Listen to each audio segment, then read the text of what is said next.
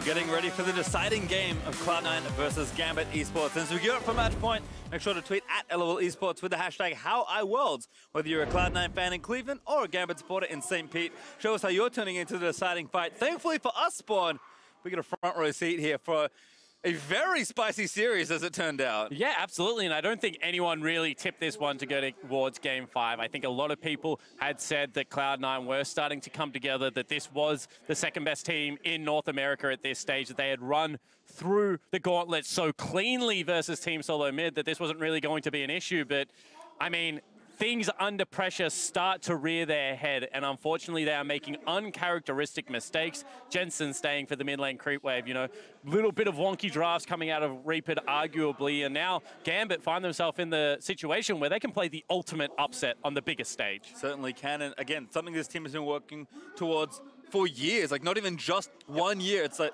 the last world, and then this MSI, and now this world. Every single time they've got further than they thought they would.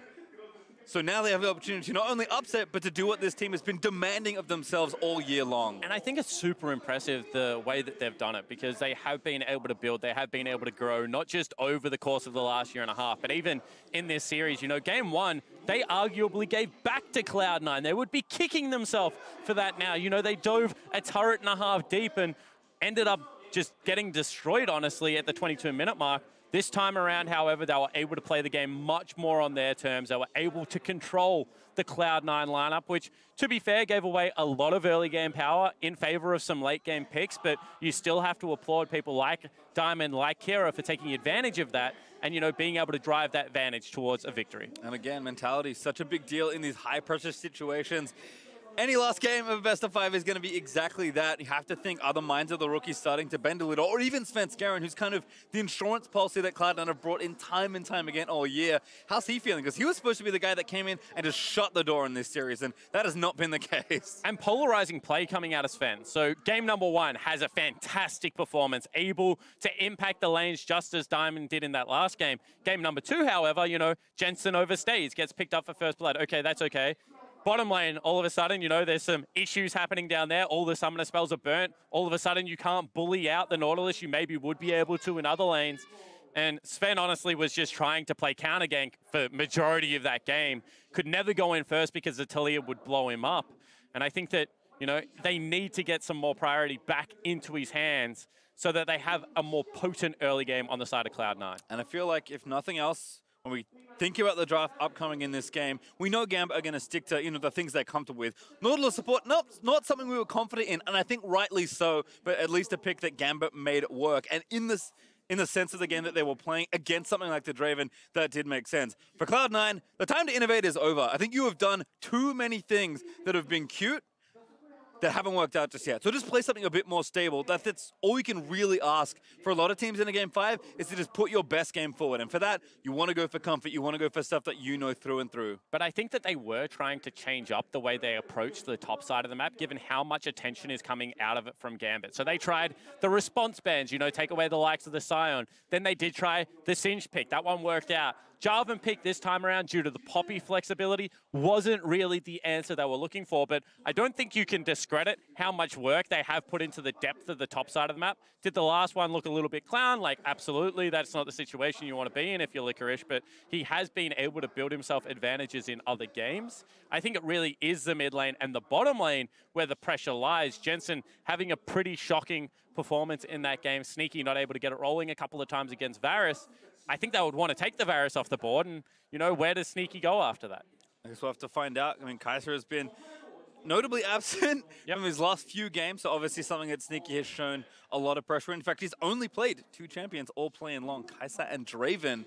We'll see if that trend does change in this final game, but we're going to move ourselves into Champ Select very quickly as Cloud9, again, back on the blue side. Maybe that's what they need, because their red side games have looked a little funky. Well, to be fair, Gambit's red side games have looked pretty shocking as well. It's 100% blue side victory so far. I think it's a 61% blue side victory overall for Worlds 2018 play-ins before we had gotten into today's game. So pretty favored side of the matchup. With the potency of the first picks of Urgot, you would have to think that that lends a lot of weight towards the discrepancy as far as that goes. Well, no Urgot this time around. Gambit again. Aatrox plus Urgot banned away. Tahm Kench and Anivia for Cloud9. And do they respect Diamond's pick? Do they take something like the Taliyah here as a ban? Or do they even take it first pick themselves? I think you have to be thinking about Diamond, who has been kind of the person getting Gambit over the line when they need it.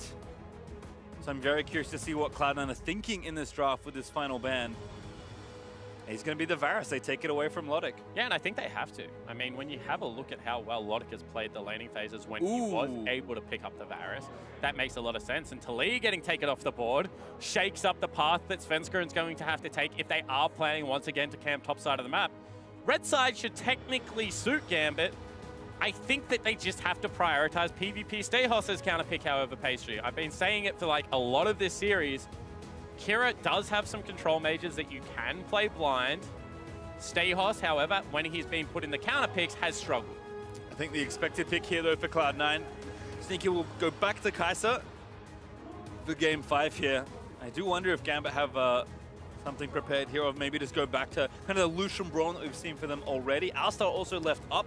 As a result, we know that's a very good pick for Edward and something he's comfortable with, which I think in this kind of game giving Edward something he feels stable on is yeah. pretty important because his good games and bad games have looked very different. Ease of execution becomes the key term that we will probably use throughout a lot of these mid to late game fights if we get to that point because under high pressure situations, things go all awry, especially when we're talking about rookies. Edward, obviously not a rookie, has been around for a very long time, but has had some up and down performances. Not expecting Ooh. to see things like the Thresh more along the wheelhouse of the Alistar or the Braum. And you said, ooh, that's an Olaf lock-in. Yeah, there's been Olaf bans in this series. Certainly a champion that uh, we've seen a little coming into the tournament and that was picking up a bit of steam, but Diamond's just going to take it here once an early tempo jungler for himself. Yeah, I'd love to see something like the Zac and the Ryze picked up. Get yourself some backline access if you're able to. And I think that, you know, even though that's not the case, that is exactly what Cloud9 are going to look for in their own right Jensen's Ryze has looked very good this Worlds. However, I think that if it gets dropped into the second priority, you do run the risk of, you know, either counter picks or something like the Galio once again coming across and being able to shut down some of the early game aggression. Is Alistar as well, so Cloud9 giving comfort to their bot lane here, and Kai'Sa Alistar has been a mainstay of the tournament so far. Looks like Jensen is also going to be gifted an early pick here in this draft, and will get that Ryze again. And now you get the best situation if you are Gambit Esports. You have the potential to take support here, which potentially they have done because Gragas is that flex, can yep. also go top lane. And now you can double counter pick, you know? They might take away some of Ryze's better matchups, you know, maybe expect a Galio, Cassiopeia ban coming across in case that is what wants to happen. But at the same time, you get to target another couple of picks towards Licorice. You can maybe take away the Singed. And you have flexibility to be able to play around this draft now if you Gambit. There is a Singed Band away. Very curious to see what Gambit want to do with this Gragas. Because I think Cloud9 will likely think of something like Ornn for Licorice. We've seen it time and time again. I don't think you give them Ornn in this composition. I think this next band goes towards Ornn. That's what we've seen from Gambit for the majority of this series. I agree with you that Ornn would fit this composition very nicely, especially given the fact that, you know, Sven still does have damaged jungles available. Something like a Kindred, something like a Graves could become up and available to try and match tempo with Diamondprox's Olaf. But if Gambit let it through now, I expect it to be picked right after this ban. And that's part of it, right? Is because if Gragas is going top, do Cloud9 think we like we can get away with not banning it? I don't think so. I think that they would have the read that potentially Edward would be playing that one. We've already seen support Gragas once at the World's playing stage. I think they know that that is a possibility. Do they run the risk of, you know, potentially trying to counterpick an Ornn in the top lane without Urgot, without Darius available? That becomes more difficult, and that's what they're doing. Poppy banned. So we'll see what Gambit do take here for themselves. Very tense first pick out of this phase. You can see a little bit of confusion potentially as they're looking at what the pick could be. I still expect this to be the Ornn pickup. Yep, and there it is for Gambit. So will be support Gragas most likely, unless Kira has gone uh, really fancy himself. extremely far off the deep end. And now what do they have? Do they go back towards something like Lissandra top lane that we've seen out of Licorice, which would suit kind of the team fight flavor of this, would create some big spaces, short range AD carry. That makes a lot of sense to me, so that would potentially be my pickup. And that's what I was going to say. I think the big thing here is get a jungler that farms at a high rate. Because Olaf's weakness is that he falls off a cliff towards the latter stages of the game. Kai'Sa will shred Olaf as this game progresses. So if you're able to have another threat, you know, something that can split up from the Kai'Sa and kind of increase the difficulty of this composition from the side of Gambit, it will certainly go a long way to winning Cloud9 the game. And looks like Licorice will be just taking a sturdy tank into the top side of the map here. They can still play one through one with the Shannon split, push things out. Decent matchup into the tanks in general, and with Singed banned away, Licorice will just take something nice and stable. I think Cloud9 have kind of done what we expected here in this game and Ooh. just drafted very solid for themselves. Malzahar would be interesting. Doesn't have the best lane matchup. Lissandra, we've already seen fail once in the mid lane. It was triple that picked it up for the Direwolves. And there is Malzahar. And this is what Raz said. He said, how far down the team fight rabbit hole do we go for Kira? We already saw the Anivia. Now all of a sudden that's getting respect fans. Malzahar sacrifices a lot of lane pressure to be a good team fighter. One of the best. AoE silence. Very annoying to deal with in a late game team fight. Lockdown means that they're all going to have to pay the QSS tax. And if you were going to say which comp is easier to fight with, you would probably have to go with Gambits. But in saying that, 1-3-1 pressure, the ability to withhold that mid lane 3 unit has been there at time for Cloud9. Raz didn't like the communication between Sven Svenskeren and the two, thought that when he left, they stepped up too far. I agree. But I mean, once again, these are quick adaptations that you're expecting the most veteran members of Sven, of Sneaky, to be able to make between games. Let's talk about the jungles again, because it's been four years since he's got three, three or four years since they faced the last time Sven and Diamond faced off. So as a reminder, Svenskeren's all-time record versus Diamond is not good. If there's ever a time to put a win in the column, it's this game. Yeah, absolutely it is, but you're doing it with so much pressure on your shoulders. You haven't been the primary jungle for Cloud9. You've been splitting time with Blabber, now at the world playing stage at knockout point. Cloud9 turn to the veteran. It's currently 1-1 pastry. Can he get the next W? Well, we'll see. You can see the foreground of the shot there. That's Gambit's sub. Looking understandably nervous. We've got all of the players from both these teams watching on, and for Repeat, he'll sit back in his chair. His work is done for this series. Win or lose. Incredible that this stage of the play-in has already delivered a five-game banger of a series spawn. Six teleports pastry. Everyone picks up the globals. They know this game is going to be map pressure versus the ability to kick off team fights. And neither team wants to be in a numbers mismatch when that happens.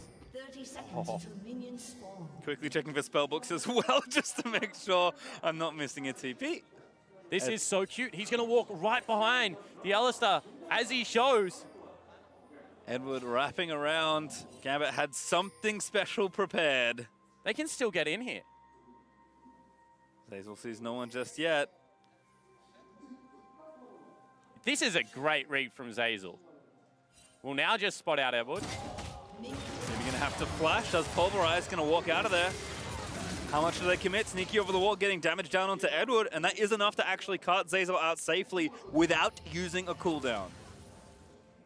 As you mentioned, no cooldown users. Aftershock comes in massive for the lineup. However, still potentially going to burn a potion before he gets the lane, as it is ticking right now. And they know where Svenskeren is starting. So that is a great start of Summoner's Rift if you are a Gambit fan.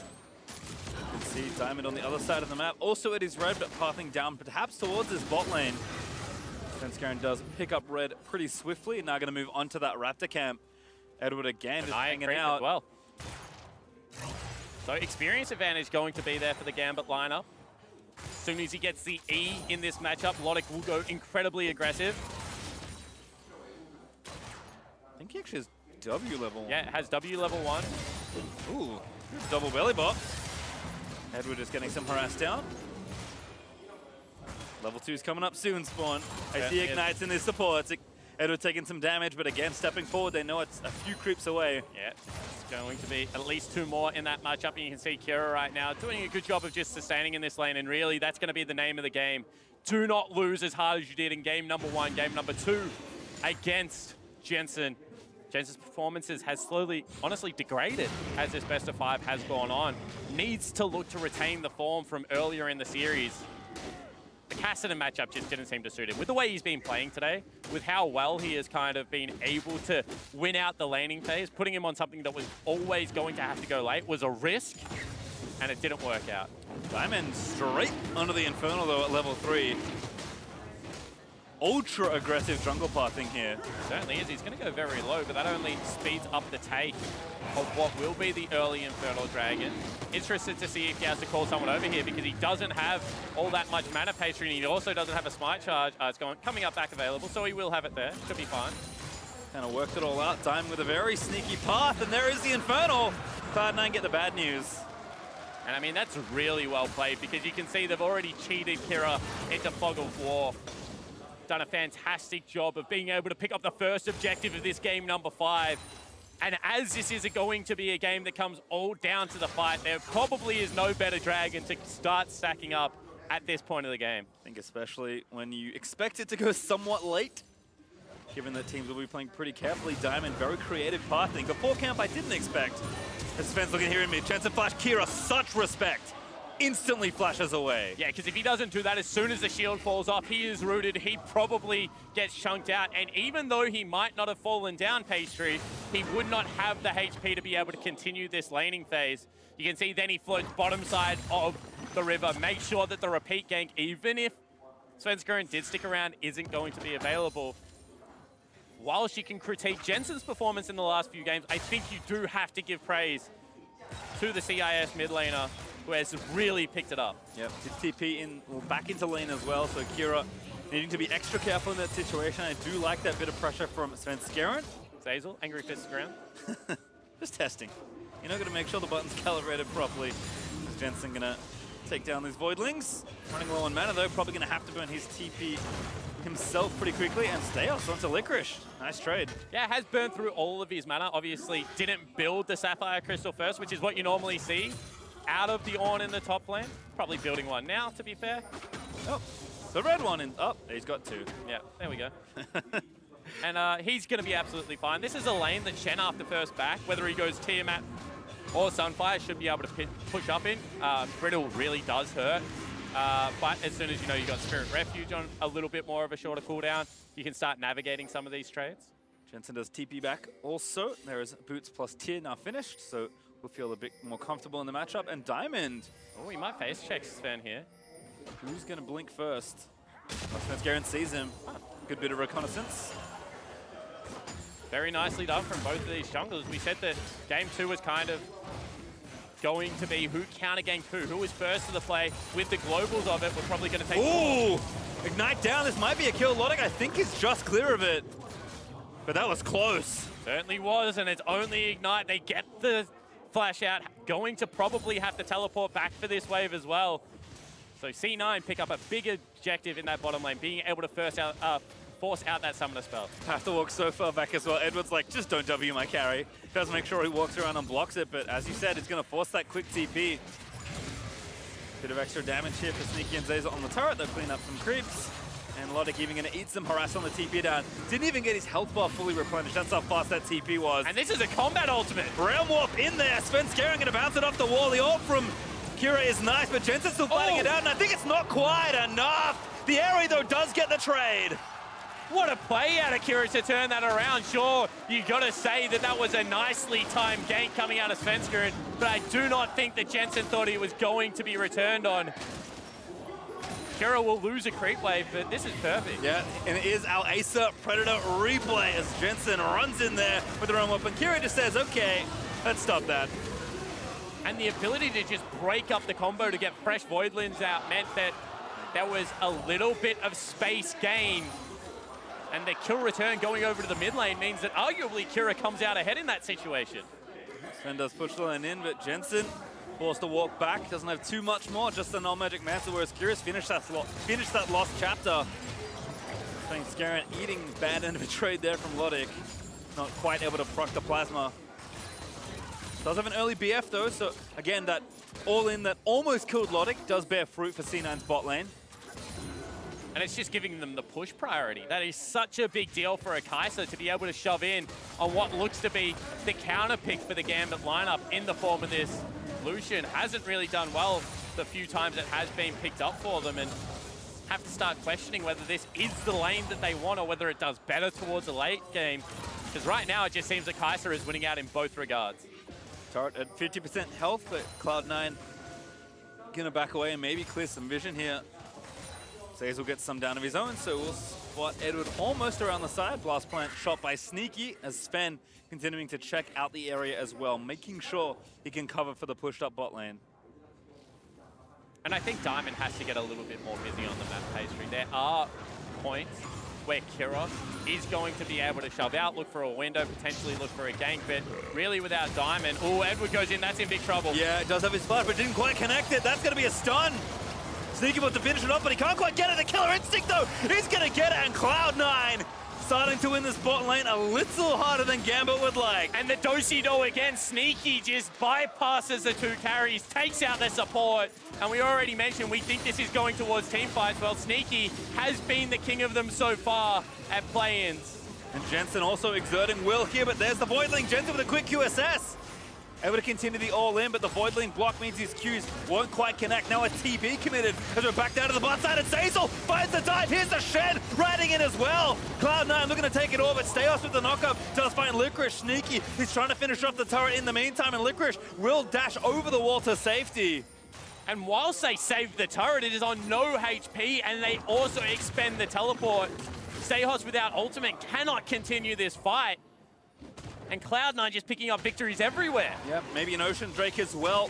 Off the back of this play, they are going to start it. They'll force Gambit to fight them if they dare. I don't know if they want this, but looks like they're trying. I mean, they have to go for it. They cannot allow this gold lead to continue. This is the best opportunity they're going to have. Stejos again finds the knocker, but it is sneaky that he gets as Zeyzal goes back in on Akira, who explodes to the Kai'Sa. It's continuing to chain together kills. Sven, he smites the Drake and takes it down. They're trying to chase. Licorice gets damage boosted to safety by the ult of Edward, and Jensen with no mana just walks out scot-free. And one more time, it is just Gambit not on the same page. Second Gragas game, not able to use the cast to guarantee kills. And this is Edward just shorting the body slam, not close enough, gets read like a book, gets stunned up.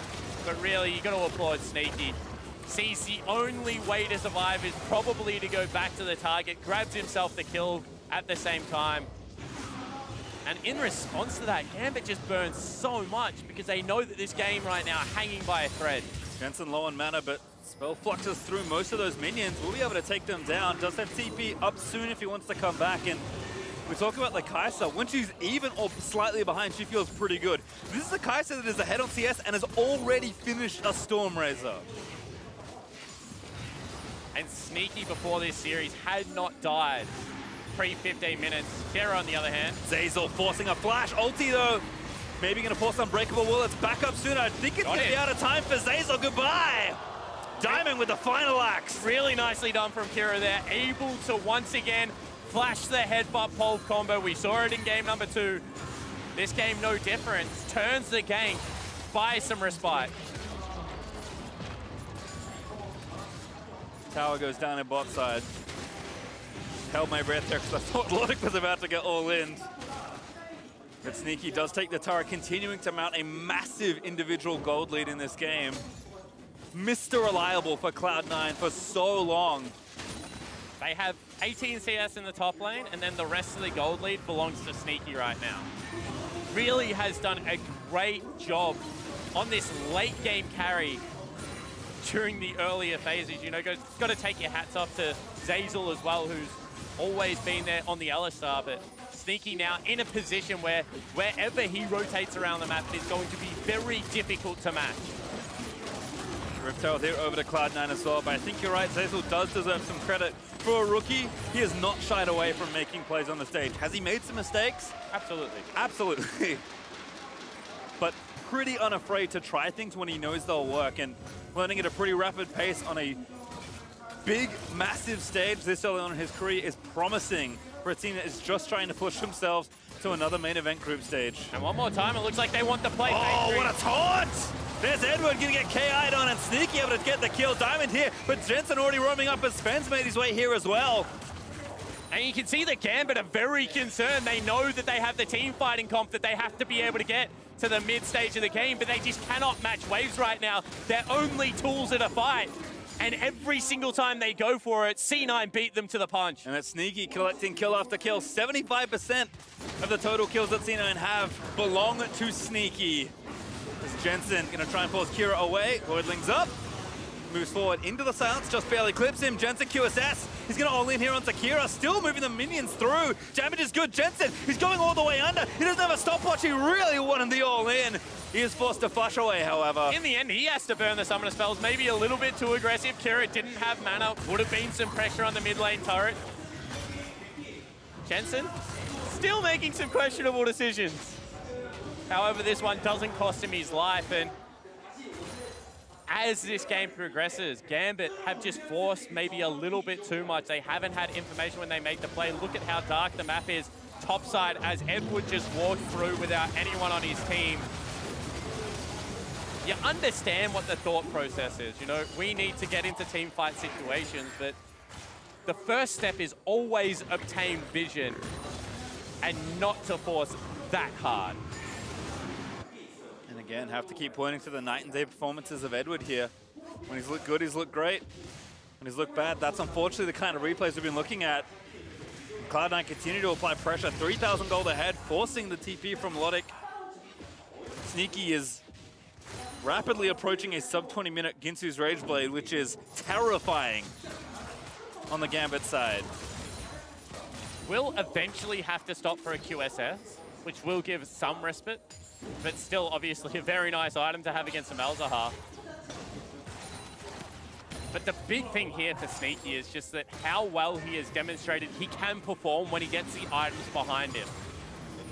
When he has been challenged in the laning phase by Lodik, Lodik has looked very good, but that was primarily on the Varus pastry. This time around on the Lucian again, Sneaky does not seem bothered by this pick at all. You Gambit grouping three up the top here, but Sven already behind, covering for his laners once again. He's done a really good job at being in the right place at the right time this go round. Just Diamond, who has unfortunately been unable to do too much in this early game. C9 are all over Gambit's plays here, and every time they walk in, without that vision, they are getting punished, and Cloud9 are rapidly looking to take down yet another turret here. And look at how worried they are, because now Kira cannot fight for mid lane. We already saw how heavily Jensen wins that skirmish, even if he did have to burn flash from turret diving.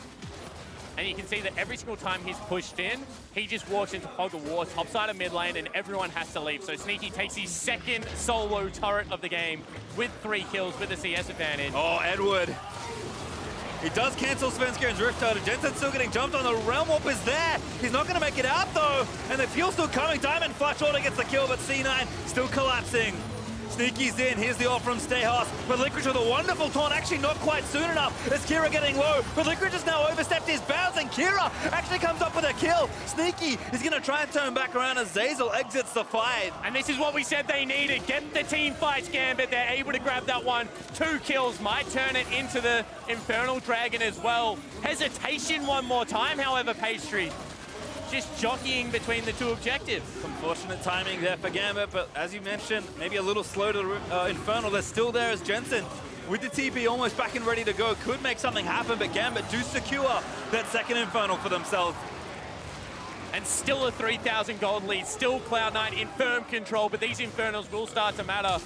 Oh, you hate to see it. However, he does get the stop. They do ultimately pick up the kill here off the back end of some very nice axes from Diamondprox.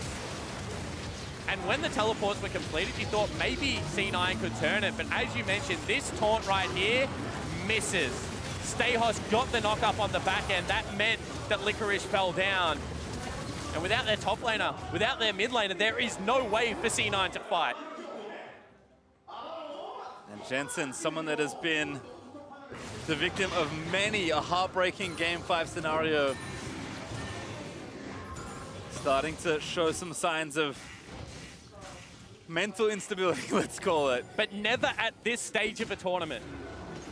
Coming into Worlds, Cloud9 were a shoo-in to get out of play-in stage. Gambit looked shocking against Flash Wolves when they were playing at the MSI Best of Five. This time, however, team members are stepping up when it counts. And that redemption still on the table here for Gambit. If they can hold on, two Infernals will help as the game gets later, but Cloud9 continuing to get aggressive. And leverage that gold lead. that's a big thing. They still have the ability to push up their side lane. They still have, if they want, the ability to put Sneaky into the mid lane and start absorbing farm for themselves. They still have outer turrets up and available, whereas Gambit do not have those options. So their jungle is still being encroached on, it's still being taken away. The problem is, is that if you continue to funnel over gold, if you allow them to get to this mid-game portion when the Infernal Drakes will start to matter, they have such an explosive team fight. Licorice dancing around, good taunt. Still getting chased down though by the Ragnarok Olaf, but Diamond can't really chase too much more. Jensen continuing to apply that pressure to Kira as well. You can see Diamond didn't want to throw the first axe because of exactly that. As soon as he threw it, it was over. But uh, very nicely played by Licorice. He's just a patient player. Under the pressure, he looks to be standing pretty firm at the moment. Reminder, still a rookie. Not as fresh perhaps as both Blaber and Zeyzal, but this is his first year as a professional player, continuing to go from strength to strength as the year rides on. And for Cloud9, it has been an extremely turbulent year. They were pretty happy to make it this far, given all that transpired in these last 12 months. But like any team, they will be incredibly unhappy to take a loss here. And Riot Freak did remind me, NA's record in tiebreakers and game fives in best of fives at Worlds and MSI is abysmal. Big bagel in the win column, abysmal. Is it really? That is not what you want to hear if you're a North American fan right now. Remember, Gambit have never lost to them either. Lodik going forward, Pastry. Looking for it here, but Lodik maybe a bit too aggressive. Ult from Sven. Zeyzal stopped by Edward. Sneaky again with two items done, but here's the Stanch and onto the Alistar. He's already popped Unbreakable Wheel, but Licorice will make sure the support gets out safely. RC9 too far forward for this turret. Looks like they are going very far up the lane for it. You can see already the rotation coming out of Stejos did not have the teleport to join. Licorice's is about to become available off cooldown. But they get out, no harm, no foul. And still, C9 pushing up in the lanes have the advantage gold-wise. But Gambit just looking to turn some of these aggressive plays. Won't take much make this game feel a lot more even. In fact, Gambit even with some initiative here in mid lane, and be able to take the outer turret. Oh, actually, that's going to be a Ryze ulti coming in just to try and dissuade them. It's just a prank. But I was going to say, this is the ultimate for the Gambit lineup. If they can open up the map, if they even trade turrets from this point and just make Summoner's Rift as big as possible and start being able to force around objectives, that is the key. You don't want to give Cloud9 the ability to retreat to a tier 1 turret. They will still be meaningful at this stage, you know? Once Stejos gets his third item, maybe not so much. Ornn will just take it forever. Collapsed Go it from Gambit. They found one. They're going to get the chain CC and they take down Zeyzal with no ulti. Sneaky though, still staying alive. Needs to keep cutting around as the tank are trying to chase him. Diamond a little too far forward, but Jensen almost dead as a result. Sven with the ulti does get it, but Stejos able to solo Sneaky on the right hand side of the fight. That's what Gambit need. Certainly is, and can they go towards Baron? Svenskeren is still available, but the bottom lane is dead. Does not look to be the case. When you have things like Malzahar up and available, you can always force early on it in the game. But Jensen on the back end of that team fight, just hiding out, pumping out so much damage. Svenskeren shoots that crab just barely. Flash torn from Licorice. In onto Edward, he's got the Titanic going. Needs a few more autos. Sword pull not there. Flash forward from Sven, he wants it. Smoke oh. screen is enough. Red Smite OP able to pick it up on the back end of that. Looked like Edward was going to be able to survive. One more passive proc would have done it. The Cloud9 turn the fight back in their favor now. Look to pressure mid lane turret. This game has been an absolute seesaw of emotion. It's Starting to descend into madness spawn. As Cloud9, they want the outer turret here in mid, but two items on the Malzahar will shut that down in an instant. And now another Drake coming back up in 25 seconds. Baron very much at the forefront of both these teams. This is just an aggressive start to the play. A flash forward into the ultimate onto the support. You can see Sneaky took so much damage on the back end of it, and Jensen is able to turn around. That damage there was crucial onto Diamond. It turned the team fight back in their favor. Big shutdown coming across as well for Sven, and they start up Baron off the back end of the fight. Gambit know this is happening. I don't think they can stick around. Cloud9 just forcing them to the area. They get their wish. But a very aggressive. If you C9, do you really want to force this team comp to the area? Sure, they've just used some crucial flashes, but You're still going up against the team fight presence of a Malzahar, of an Ornn. At this stage of the game, you know, Olaf as well as Lucian, they're completely fine. And if they are able to isolate Sneaky again, who is so much of this gold lead, Gambit look fine. Gambit calmly walk to Baron, bop over to the right-hand side, take the Ocean Drake for themselves. That's now three Drakes to one. Two of those for Gambit are Infernals. And I'm very surprised that Cloud9 hasn't stuck in this setup of the map for longer. Because they've got Shen just passively catching a wave, obviously can teleport away with the Stand United, going to end a lot of combat stats. And at this stage of the game, if you're the Ornn, the last place you want to be matched up against is a mobile mage. Because he just clears waves better than you, he's going to be able to pressure you. And I think that if Cloud9 can guarantee these lane assignments for a little bit longer, this is when they start being able to have pressure. And there's not all that much engaged with Edward's splashdown in the three. They're really relying on a rotation. You really need this turret, though, to kind of complete that picture. And Gambit are being incredibly stubborn and protecting it, and rightly so. So for how big the map seems for Cloud9 with their two side lane threats, Gambit just protecting this potent part of the map with their lives. Flank coming in here. Stejos gonna face check, dashes out of the way. Oh, Zeyzal's in there. Just zips right in to start the fight off. Sneaky now, going in with the killer instinct. He's riding Licorice in. What a delivery from Cloud9. And you can see how the team fights are supposed to work. A big flank, a great engage, and now it's a 3v5. Around Baron as well. C9 says, stuff the mid turret. We're going back to Baron. Licorice over the top. C9 will force them into the pit. And eyes on Zeyzal has the splash. Hex Flash, what a play! Finds one diamond! It's the target they want, they get him down. They'll get Kira as well. The rookie comes up massive for Cloud9! And finally they're able to get the flanks they're looking for. Cloud9 turn the game on its head. They're going to grab themselves the Baron, and they're going to pick up a 7,000 gold lead. And NA, if any of you are awake at this ungodly hour, reminder, it is not over yet, but this is how the wins that Cloud9 picked up have looked. Solid mid-game advantages, winning those crucial team fights, taking the Baron, and just running away with the game. And back-to-back massive plays from the rookie. Does so much of the shot calling. He says, I'm going, gets onto the two tanky members. But remember, at this stage, Sneaky is so and the ability to deliver the Shen is even better. I mean, the first one was impressive enough, but then the ability, the heads-up play to know you have Hex Flash available, to come over the wall and get the jungler at this stage of the game, to guarantee the kill onto Kira as well. Secure your team, Baron. That is so impressive. And that play may be the one that wins C9 in the game as Jensen tries to roam up over, but Diamond does flash out to safety.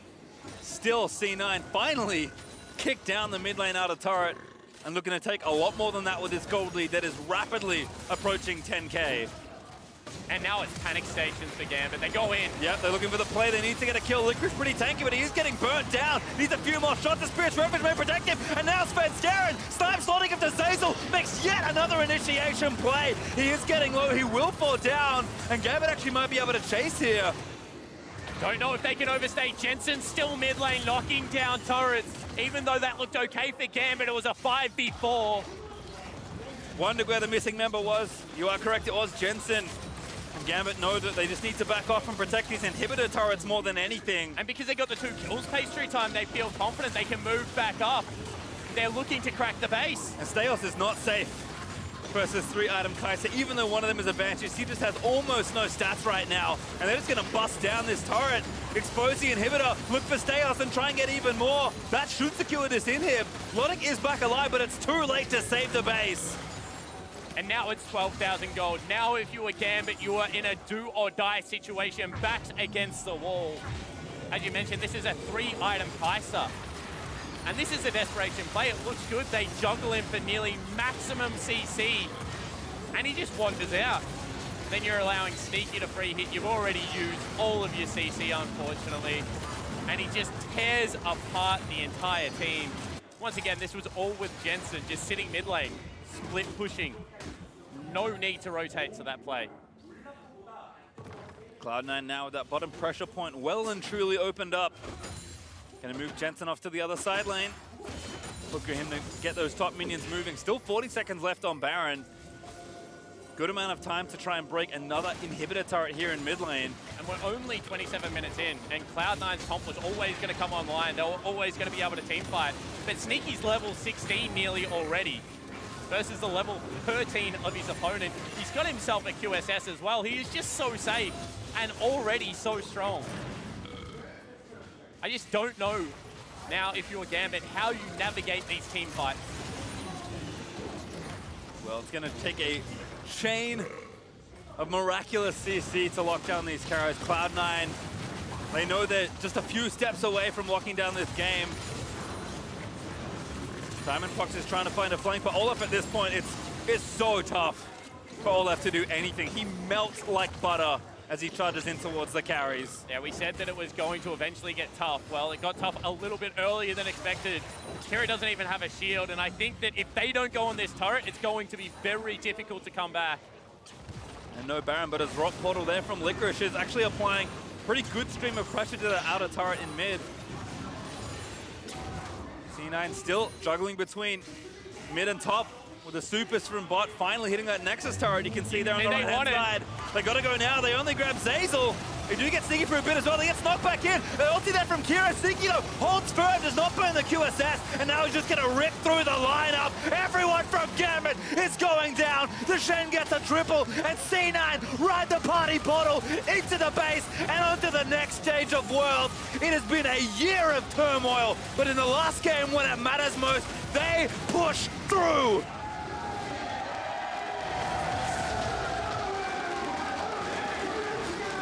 And everyone from C9 should be very happy with that final game performance. Rookie and veteran alike rising to the occasion, punching their ticket for groups, but boy, was that a best of five. Gambit did not make it easy. You can see Diamond understandably disappointed. A team that wanted to make it one step further. This game win would have been that step, but I think Gambit can still hold their heads high after the performance they've shown today. And to be fair, I think a game five is also that next step. They got destroyed by Flash Wolves, who looked in form at MSI. C9, not necessarily the same here, did look up and down even throughout the play-in stages, but people thought in a best of five with how prepared they would be by Reapered, this would be a fairly one-sided affair. It was not that, but still they pick up the win. All six members of Cloud9 will take a bow in front of the crowd. And now look onward. They're good. They can relax for a couple series and await the group stage.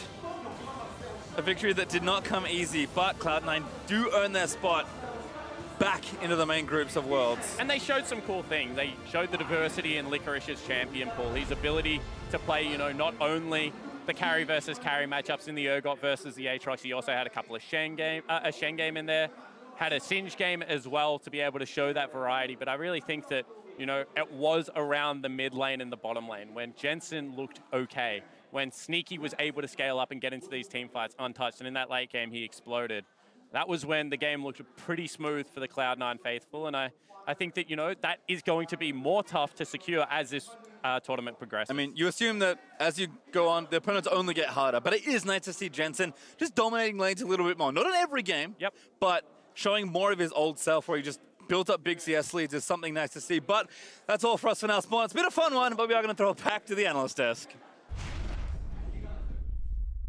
Thank you very much, Pastry. C9 did it. Trial by fire for the rookies and the veterans, I should say. I don't think this is easy for anyone, but Cloud9 rises above and grabs that spot in group stage.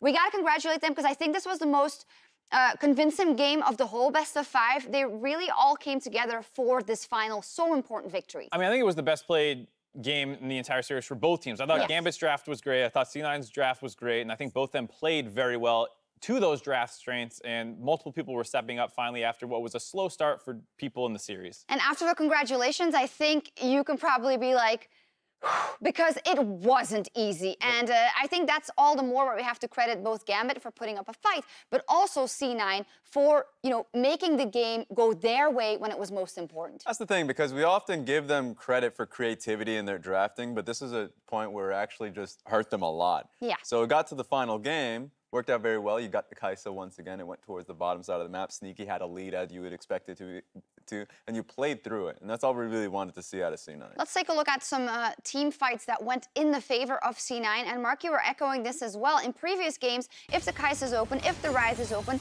just pick it. And I think you see when they pick it, what they can do.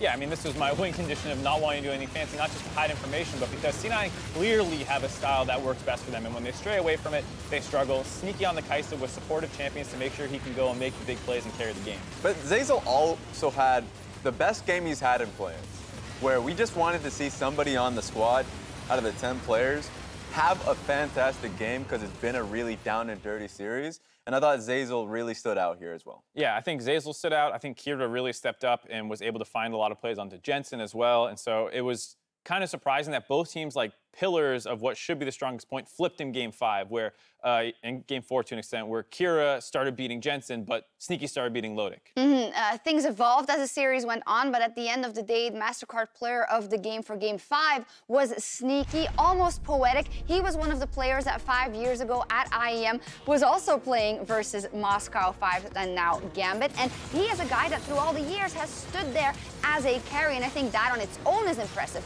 But the fact that he is again a strong point for the team here is, well, really good for C9 in these important moments. Calm, keen eye, and this is in a game five too, where a lot of these players are starting to tilt or just lose focus. A good example would be Jensen as the series went on. But I thought that Sneaky really stayed firm a lot of times. You saw in the play that just happened there. Got them an early game lead, what you didn't expect in a counter matchup. Wonderful. Uh, we didn't crown a player of the series, but I would like to know from you guys who would be eligible for that.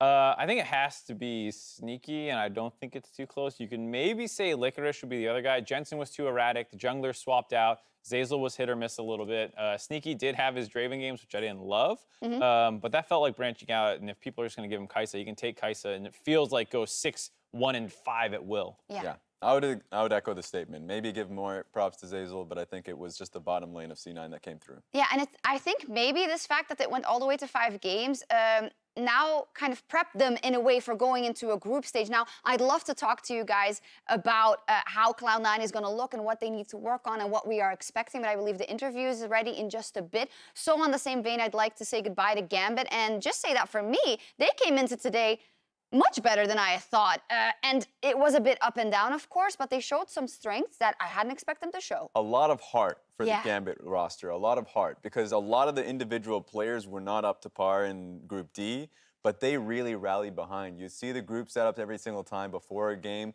They came out as a team, so a lot, uh, big props to them coming into this best of five. Yeah, I think NA fans and players came in almost arrogant and kind of looking past them, but Gambit really struck fear into everyone's heart. I mean, even in game five, when they started making those plays around mid lane, I think a lot of people really thought that they could have taken this series. It got difficult and it took five games, but Cloud9 did qualify for groups. And to hear from one of the players crucial in doing so, let's send it over to Ovilee for an interview.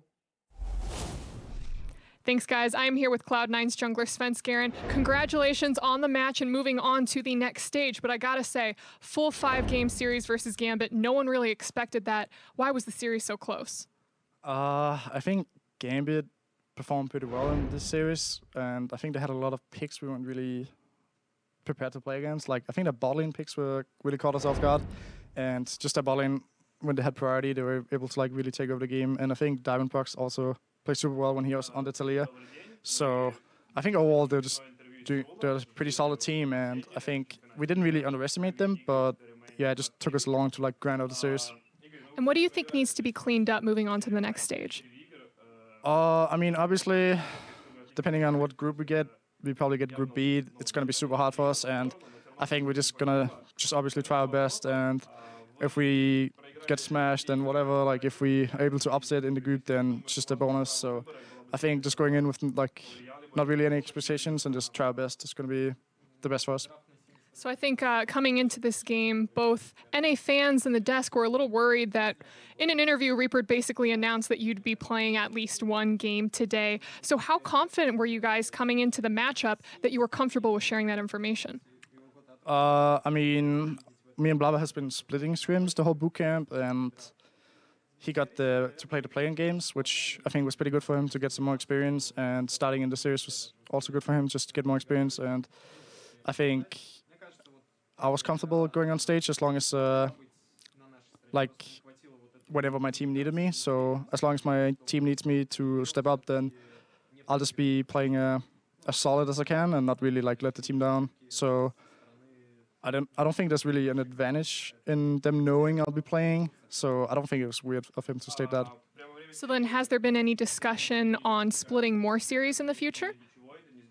Uh, I mean, obviously, with Reaper is going to decide who plays. Depends on our play style and the enemy's team play style, whatever is going to be better for the series. So I don't think we can say now whoever's going to start. Well, fingers crossed for that Group A or Group B. Svenskeren, and congratulations again on the win. And that's it from us here, but stick around because after the break, we're going to see DFM take on EDG.